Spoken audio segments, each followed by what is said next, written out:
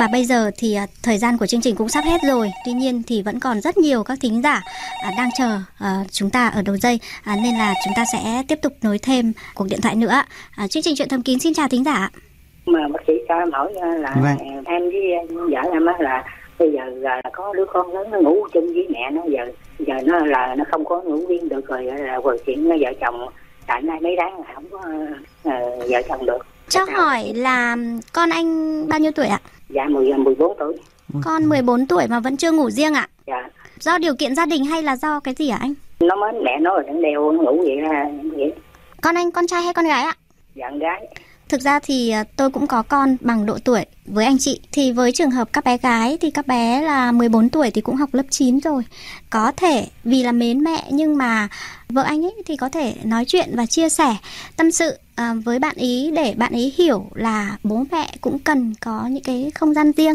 À, Và bên cạnh đó thì tôi nghĩ là để mà tránh phải nhịn như vậy thì anh chị cũng nên có những cái cách nào đó chẳng hạn như là khi mà con ngủ rồi thì mình trốn ra một cái chỗ khác chẳng hạn. Gia đình anh có thể có bố trí được một cái chỗ khác nào không ạ? Cứ mỗi một lần em em ngủ thì, thì làm như chọc cho cho đứa nhỏ nó thích rồi không có được. À như vậy thì nguyên nhân không chỉ ở đứa con mà là cả ở bà xã nữa ạ. Về cái điều này thì chắc là bác sĩ Việt cũng khó lòng có thể khuyên được mà thật ra là hơi khó rất Vâng. khó nhỉ. À, tôi nghĩ rằng là anh cũng phải chia sẻ thẳng thắn với vợ về cái nhu cầu của mình về cái lợi ích của việc sinh hoạt tình dục. Nó không chỉ có lợi ích cho anh mà nó còn có rất nhiều tác dụng cho cả à, sức khỏe phụ nữ nữa. Thì à, anh chị có thể chia sẻ với nhau à, để à, hiểu nhau và khi mà cả hai cùng đồng thuận rồi thì sẽ tìm ra cách thôi anh ạ. Đúng không bác sĩ Việt? Vâng đúng thế ạ. Theo như chị Hà đã, chia sẻ với anh đấy cũng là một cái cách anh ạ. Dạ dạ. Vâng là hy vọng là anh sẽ à, sớm thu xếp được cái chuyện này nhá. Vâng và hy vọng là lần sau anh gọi đến à, chương trình là anh sẽ thông báo là kết quả rất là tốt đẹp rồi. Rất là cảm ơn anh đã tham gia chương trình ạ. Dạ dạ. Vâng là À, các bạn thân mến, à, cuộc điện thoại của tính giả vừa rồi thì đã kết thúc 30 phút của chương trình đêm nay. Nếu chưa được giải đáp à, các thắc mắc, các bạn có thể tiếp tục đăng ký câu hỏi bằng cách gọi điện đến số máy 0243 266 9595 và 0243 266 9494 vào lúc 16 giờ đến 19 giờ ngày thứ năm hàng tuần. Các chuyên gia của chương trình sẽ gỡ rối giúp bạn. Ngoài cách nghe trực tiếp qua radio trên tần số FM 96,5 MHz, các bạn cũng có thể nghe lại trên trang vov2.vn hoặc trên fanpage cùng bạn sống khỏe của chương trình. Đến đây thì Thu Hà và bác sĩ Đinh Hữu Việt xin chào tạm biệt và hẹn gặp lại các bạn vào 22 giờ tối thứ ba, thứ năm và thứ bảy hàng tuần trên sóng VOV2. Chúc các bạn một đêm ngon giấc. chúc các bạn ngủ ngon 96,5. Chương trình chúng tôi tiếp nhận rất nhiều cuộc gọi từ các thính giả. Xin mời thính giả tiếp theo. Alo ạ. Vâng, ờ, tôi năm nay là 66 tuổi. Bà xã nhà tôi 63 tuổi. Trong cái quan hệ tình cảm, ờ, tình dục độ 5 sáu hôm mà tôi để gặp bà, bà một lần. Thế nhưng bà cứ ờ, hay hảy hay hảy và kêu làm bà mất ngủ và kiểu là, là cưỡng chế thì ờ, bà cứ bảo tôi là máu quá cái tuổi này. Nghĩ rồi phải như giờ thì đấy thì tôi thấy nghe những ông cụ 70, 80 vẫn còn quan hệ bình thường. Bác sĩ tư vấn cho tôi thì tôi bảo là tôi quá đáng không thì bác sĩ ờ, cho biết ạ. Dạ, nhưng mà cái tình trạng này lâu chưa ạ? Đồ hai ba năm nay chị ạ. Rất chia sẻ với những cái thắc mắc của anh nhưng mà phụ nữ ở tuổi này thì cái chức năng tình dục cũng có thể là suy giảm ạ. Bây giờ thì bác sĩ Hà Ngọc Mạnh sẽ tư vấn trực tiếp cho trường hợp của anh ạ. Vâng, xin chào bác sĩ. À, vâng chào bác. Thứ nhất là cái vấn đề về tình dục ấy nó sẽ phải có sự hòa hợp đôi bên. Thứ nhất là mình phải đánh giá xem cái vấn đề của đối tác của mình ấy ờ, cái sự ham muốn tình dục của người ta thế nào vì là ờ, phụ nữ thì cách mình khoảng tầm ờ, ba bốn tuổi thôi đúng không ạ Vâng, vâng. đấy thì thứ nhất là mình đánh giá thời gian tình dục của mình có hợp lý hay không vì nếu mà bà ấy đang ngủ mình lôi dậy thì nhiều khi cũng cũng rất là khó chịu đúng không ạ Ờ, thứ Vâng, hai Tôi thì cũng lựa bà ấy là có thể là vào độ 90 giờ. Ờ, khi mà vào giao ban nhau là có khúc nhạc dạo đầu nhưng bà ấy cứ ờ, không muốn thế. Bà kiểu như là bảo ừ thì ông làm làm khẩn trương ông lục lục như là tà thế thì kiểu cho xong không lần kiểu thế thì tôi thấy nó khó quá. À, đấy thứ nhất là câu chuyện về thời gian tình dục. Câu chuyện thứ hai là câu chuyện về dạo đầu. Làm sao để người ta phụ nữ người ta hứng thú tình dục với mình ấy. Cái thứ ba nữa là mình phải đánh giá xem ờ, người phụ nữ hiện tại cái thời điểm này này người ta có cái trục trặc gì không? Ví dụ như cái âm đạo người ta khô chẳng hạn hoặc là có viêm nhiễm gì âm đạo hay không? Khi mà tình dục nó khó chịu lắm. Thì Bà nhà ờ, tôi thì khỏe mạnh lắm. Ờ, là chất bôi trơn không có thì ờ, tôi nghe tư vấn là có cái chất bôi trơn tôi mua ở bệnh viện ở hiệu thuốc về thì cũng có cái hỗ trợ rồi thế Vâng. nên là bà ấy cũng bảo là với đây bà ấy là bà mất ngủ. Thì lúc tôi gọi lại xong bà lại cười khí khí khí chả thế nào thì tôi lúc thì bà ấy cau có lúc bà đấy lại cười. lúc lúc chiến đấu xong rồi có hiệu quả và xã vui vẻ thế là được rồi. Nhưng mình xem cái thời điểm khởi đầu như thế nào cho nó hợp lý thôi vì là nhiều khi thời điểm nó không hợp lý này thứ hai nữa là mọi thứ chưa được sẵn sàng ấy thì mình tình dục thì gây khó chịu cho những lần sau nên chịu khó ờ, an ủi vớt ve bà xã một chút mình phải tìm cái cách nào cho nó hợp lý cả hai bên cái tần suất tình dục cho nó hợp lý và để thỏa mãn cho cả ờ, bà xã và cả mình và vâng thứ hai ờ, cứ ờ, một tuần từ năm À. ngày đến một tuần thì lại ờ, một lần chứ không phải là quá thứ hai nữa là bà xã mà khi tình dục xong rồi cười khí khí thế là cũng có tức là mình có khả năng tình dục rất tốt rồi thì mình phải xem xem khởi đầu như nào thôi chú ý những cái tôi vừa nói thôi Vâng, xin cảm ơn bác sĩ nha. Vâng, cảm ơn tham gia chương trình ạ. Vâng ạ, bây giờ chúng tôi xin kết nối thính giả tiếp theo ạ. Chương trình Chuyện thầm kín xin chào thính giả đầu dây ạ. Tôi năm nay là 65 tuổi rồi. Trong cái thời gian năm ngoái á, cái cường độ sinh dục nó mạnh lắm. Thế sang đến ban đầu là khoảng 7 tháng này là không là gì được cả. Không động đậy, không nhúc nhích gì luôn ạ? Không nhúc nhích gì cả mà người vẫn khỏe. Nhưng không biết là tại đâu. Tôi có bệnh áp huyết cao thì cứ ngày tôi uống hai viên cái loại Ambe 10 viên một vỉ đấy. Dạ vâng ạ. Kiểu gì tôi muốn là gọi điện hỏi thăm bác sĩ xem nào có gì giải quyết có tốt tí để xem dùng cái loại thuốc nào. Dạ rồi ạ. Nhưng mà mình vẫn có ham muốn nhưng mà không có khả năng cương hay như thế nào hay là cũng không có ham muốn với phụ nữ ạ? Cũng vẫn muốn ham muốn nhưng người thì không thấy sao cả. Có mạnh khỏe. Đấy. Dạ. Nên rất khổ, chỉ thấy nhiều lúc mà nằm gần vào cái giờ xong bà bóp bãi đập cái bụp cho cái. Thế xong thì bà lại dậy. Bà nhà tôi 61 tuổi. Thế 7 À. tháng nay rồi là không có khả năng cương cứng. Thì tôi muốn hỏi bác sĩ xem thế nào. Bác sĩ Hào Mạnh sẽ giải đáp những cái thắc mắc lo lắng của anh ạ. Cảm ơn. à, Cảm vâng ơn nhé. chào bác Rồi, Ờ, cái trường hợp của bác thì nó là rối loạn cương dương loạn cương dương với cái tuổi 60 thì cũng ờ, có rất nhiều về khoảng tầm Vâng. ờ, 60 đến 70 phần trăm bệnh nhân là mắc phải lý do thứ nhất là nó do cái những hormone sinh dục nam của mình nó giảm thấp đi và nó làm cái ham muốn tình dục mà nó giảm đi và thì hiện tại cái ham muốn tình dục của bác nó giảm nhiều không bây giờ thì coi như là nhìn thì vẫn thích nhưng mà không làm sao được cả. Ngày xưa thì tôi khỏe mạnh lắm, Vâng. cách đây còn chỉ khoảng 5 6 tháng thôi. Thế thì tôi vẫn có thể một tuần ba bốn lần được. thì cái ham muốn tình dục so với ngày xưa nó thay đổi như thế nào Nó thay đổi nhiều đấy anh ạ, bởi Vâng. vì này nhiều lúc đêm nằm mà không gì được nghĩ về cái việc đấy cũng không dậy ừ, được ừ. Đó. chỉ có tí sáng mai là mình muốn đi tiểu đấy mà rồi tức là cái ham muốn tình dục nó Đấy. giảm rất thấp thì có khả năng cao là do cái hormone sinh dục của mình nó suy giảm À, thì cái trường hợp rối loạn cương mà nó do cái testosterone nó giảm thấp ấy thì mình phải Vâng. cần phải đi khám để định lượng lại cái hormone sinh dục đó và để xem xem nó có thay đổi gì không À. à, ngoài ra thì những cái bệnh lý toàn thân như là cao huyết áp hoặc là những cái đái tháo đường chẳng hạn cách điều trị những cái bệnh lý đó thì nó một vài cái nhóm thuốc thì nó cũng có thể ảnh hưởng đến cái khả năng cương dương của mình và nên là khi mà đi khám thì các bác sĩ sẽ kiểm tra cả cái vấn đề về cái hormone sinh dục nam Vâng. kiểm tra cả cái vấn đề về bệnh lý toàn thân của mình rồi Vâng. sau đó thì bác sĩ sẽ kê thuốc cho anh để điều chỉnh lại cái hoạt động tình dục của mình cho nó tốt lên và chứ bây giờ mà cái hoạt động tình dục nó kém thì bà xã ờ, động vào bà xã bà xã đuổi ra là là điều đương nhiên thôi và thì không làm được cái tích sự gì thì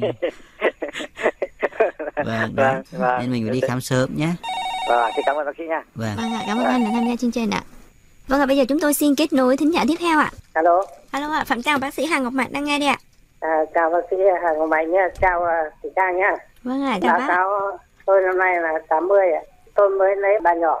à thế ạ Bà cả mất rồi mà. Lấy bà nhỏ thì được ờ, hai cháu con ra rồi. Một cháu ờ, năm nay là 7 tuổi. Mà cháu mới mới sinh được mấy tháng. Tự nhiên là cái sinh hoạt đấy thì khoảng độ 3 tháng này là nó nó rất xỉu rồi. Thế. Không tức là gì. tức là không chiến đấu được hay là chiến đấu một chút thì nó xỉu ạ không chiến đấu được. à thế ạ. ba tháng nay Vâng, trước đây thì vẫn vẫn được. Thì tôi thì cũng có bệnh tiểu đường mà. Thế nhưng mà nó cũng là thấp thôi. Nó chỉ có 0,6 hoặc 0,65. vâng Đấy là tiểu đường. Thế còn à, huyết áp thì nó bình thường 140 trên 80. Vâng ạ. Đề nghị là bác sĩ ờ, tư vấn họ xem Vâng. là Dạ vâng. cho tôi hỏi một chút nữa là trước đây khoảng 3 tháng trước thì hoạt động tình dục của mình nó khoảng ờ, mấy lần một tuần tôi vẫn đi làm thì có chủ nhật mới về với vợ thôi. Vâng, à, Dạ, tức là-. Tức là tuần một lần ạ. được một lần hoặc hai. à thế. Vâng tức là về Dạ chiến đấu vâng. được một hai lần bà xã nhà mình ờ, năm nay bao nhiêu tuổi dạ Bà xã nhà tôi năm nay là 37 tuổi. ai chà 80 tuổi lấy được bà xã trẻ thế vâng, Vâng, chúc- đầu tiên là chúc mừng bà- bác Ờ, cái thứ Vâng, hai nữa là từ lúc là 33 tuổi vâng.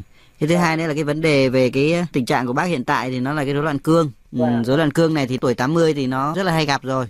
Và thứ hai nữa là nó có những cái bệnh lý toàn thân nó ảnh hưởng đến cái, cái tình trạng cương này. Tức là cái bệnh lý về đái tháo đường rồi ờ, huyết áp của bác có cao không? Huyết áp thì đột xuất thôi chứ còn Vâng. bình thường là vẫn cứ 140 trên 80 vâng vâng. Ờ, những cái huyết áp cao đái tháo đường thì nó ảnh hưởng đến cái bệnh lý toàn thân đó. Thì cái Vâng. trường hợp của bác thì bây giờ mình phải đánh giá lại những chức năng toàn thân này đánh giá lại cái um, hormone sinh dục của bác xem nó thay đổi như thế nào. Rồi sau đó thì sẽ có những cái thuốc để điều chỉnh lại cho bác. Vâng, thế thì, à, tôi thì khám, khám ở 108 đó. à bác khám 108 rồi gì? Vâng, thì bác ờ, có thể đến đấy thì ờ, vào cái khoang tiết niệu ấy. Thì Vâng vào đấy thì người ta có thể kê thuốc cho bác để xem xem thuốc có được bảo hiểm ờ, y tế chi trả hay không. Vâng ạ. là ở bên Việt Xô có không ạ? Tôi cũng có cả thẻ bên Việt Xô. và bác cứ thử sang xem. Hỏi các Vâng, bác ấy vâng. xem nhé Vâng, vâng, và vâng. Cảm- nếu mà cảm cái ơn- đường cuối cùng mà không có thì bác mời bác về bệnh viện tôi Vâng, vâng, Vâng. vâng. Cảm ơn bác sĩ Mạnh nhé. vâng vâng chào bác Vâng ạ, cảm ơn bác đã tham gia chương trình ạ. Vâng, vâng. Chương trình truyền thầm kín xin chào thính giả đầu dây ạ. Thế cho mấy gặp bác sĩ gì? Đây ạ, bác sĩ Ngọc Mạnh đang ngồi bên cạnh tôi đây ạ. Mời anh đặt câu hỏi với bác sĩ ạ. Thế cho mà cứ là vợ em thì bị u sơ tử cung đấy, to hơn quả trứng em ngoài tỉnh một chút này. Ở đây có cần mổ không là cái thứ nhất. Cái thứ hai là dụ mình uống cái la phụ khang ấy, tức là nó có giảm không, nó có phải không. Cái thứ ba là ngoài tỉnh một chút ví dụ như khi mà bị như thế mình quan hệ thì có ảnh hưởng gì không? Chị phát hiện cái khối u đấy lâu chưa anh? Mới phát hiện ra mà anh chị Mình đi thăm khám định kỳ hay là như thế nào ạ? Hay là có những cái biểu hiện như thế nào không? nó có những biểu hiện ví dụ nó đau đau thì phát hiện ra. Vâng ạ, thế thì bây giờ thì bác sĩ Hằng Ngọc Mạnh sẽ trực tiếp giải đáp cho anh đây ạ. À, vâng chào anh tức là bà xã nhà mình là thấy đau bụng à Vâng. rồi đi khám thì phát hiện đây nhân sơ hay là khi mà tình dục nó thấy nó đau khó chịu thì đi khám Tự nhiên thấy nó đau ừ, tự nhiên thấy đau bụng ở dưới vợ mình có bị rong kinh gì không em không. thứ nhất là cái nhân sơ thì ờ, có thể phát hiện tình cờ khi mà mình siêu âm hoặc mình khám phụ khoa hoặc là nó có những triệu chứng ví dụ như là khi mà mình rong kinh cho kéo dài chẳng hạn thì người ta đi khám người ta có thể phát hiện ra nhân sơ. Ờ, cái nhân sơ thì thông thường nó là nhân sơ lành tính. Nếu nó không có những cái biến chứng gì cả ví dụ nó không gây rong kinh nó không gây đau bụng không gây các triệu chứng gì khác thì mình theo dõi. Nếu kích thước lớn quá thì mình có thể chỉ định điều trị còn không thì mình theo dõi. Ờ, cái trường hợp của vợ anh ấy thì nó gây đau bụng tuy nhiên thì mình phải đánh giá xem có phải là do nhân sơ tử cung hay không. Vì là cái nhân sơ tử cung thì nó hiếm khi nó gây đau bụng lắm cái trường hợp của vợ anh ấy thì ờ, mình phải theo dõi nếu cái đau mà nó tiến triển kéo dài lên thì mình có chỉ định điều trị cái nhân sơ đó còn nếu không thì mình theo dõi Ví dụ như mà đi chụp ấy, bác sĩ bảo là to hơn một quả trứng rồi. Thì cái đấy Ừ. nó có ảnh hưởng không anh? cái kích thước nhân sơ tử cung thì nó có thể to hơn nữa Vâng. cái mức độ của vợ anh thì nó nằm ở mức độ trung bình thôi Mình khi mà ví dụ quan hệ nó có ảnh hưởng ừ. đến không cái thứ hai nữa là khi mà quan hệ tình dục ấy thì nó có thể nó gây đau nếu mà nhân sơ tử cung nó nằm đoạn dưới hoặc đoạn gần cái sát cái cổ tử cung thì nó có thể gây đau thì khi mà nó gọi là nhân sơ tiền đạo thì gây đau thì mình có chỉ định điều trị phẫu thuật còn nếu mà bình thường thì nó ở bên ờ, trên bên vùng thân tử cung ấy thì nó có thể không gây ra cái triệu chứng gì cả. Không gây khó chịu gì cả thì mình vẫn có thể tình dục bình thường. Và một câu hỏi nữa là nếu dùng ga phụ khang thì có được không ạ? những cái thuốc để nó làm giảm cái phát triển cái nhân sơ thì rất ít thuốc mà có tác dụng. Nga bổ khang nó chỉ là thực phẩm chức năng thôi tác dụng nó rất là kém và nó không thể làm mất hẳn cái nhân sơ được đâu Cái đấy thì theo dõi em Vâng ạ, như bác sĩ đã nói anh theo dõi tiến trình của bệnh nếu mà có đau, đau kéo dài và ảnh hưởng đến cái chức năng. nguyệt. Dạ. Vâng, nói là Vâng ạ, cảm ơn anh đã tham gia chương trình. Cảm ơn bác sĩ Hà Ngọc Mạnh ạ. Rất tiếc là thời lượng của chuyện thầm kín đã hết. Quý vị và các bạn có thể liên lạc với chúng tôi qua số máy 0243 266 9595 và 0243 266 9494 từ 16 giờ đến 19 giờ các ngày thứ năm hàng tuần để được kết nối với bác sĩ. Ngoài nghe trực tiếp qua Radio FM 96,5, các bạn có thể nghe lại chương trình trên trang vov2.vn hoặc trên trang fanpage cùng mạng sống khỏe của chương trình. Xin tạm biệt và chúc quý vị một đêm ngon giấc. À, trúng rồi, lại trúng rồi. Này ông, này, này, này, này. Trúng, trúng gì? Trúng sổ số hả? Ừ, sổ số gì chứ? Hôm qua mới đăng tin tích điểm từ Vương Bảo, hôm nay trúng nghe một triệu rồi đấy này. Ừ, là nhắn tin một lần, được quà hai lần chứ sao? Nhá, vừa nhận Vương Bảo khi tích đủ 6 điểm, vừa có cơ hội trúng từ 300 đến 1 triệu đồng tiền mặt luôn, mà tới tận hơn 500 giải cơ đấy ông ạ. Này, ông ơi cụ thể tôi nghe xem nào. Ừ, Đỉnh á, ông nhìn thấy chưa? Mỗi hộp Vương Bảo đều có một mã cào, ông cứ cào rồi nhắn tin tích điểm như bình thường.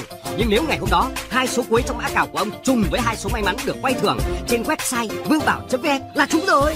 Thì, thì đúng là niềm vui nhất đôi rồi. Chứ sao? Vương Bảo vừa tốt cho bệnh tiền liệt tuyến, vừa có nhiều chương trình hay thế này, mình cứ rủ cả tổ hưu đi, cứ ai trúng là mình đi liên hoan. Đi luôn. Ừ, hay, hay, hay.